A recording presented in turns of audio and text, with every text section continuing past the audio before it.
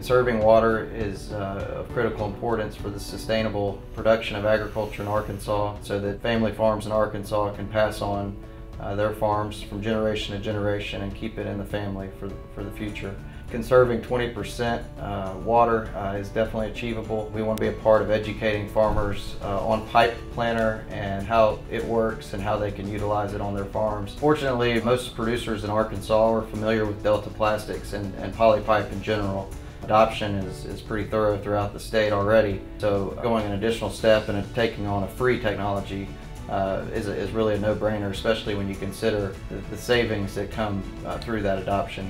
There's substantial water savings uh, on a per farm basis, uh, which at the end of the day leads to less need of running your pumps and wells and saving your energy costs and expenses there. And also from an environmental standpoint, there are tremendous benefits uh, by keeping the water on the farm, reducing sediment and nutrient runoff. It's a win-win across the board from an environmental standpoint and from an agricultural business standpoint.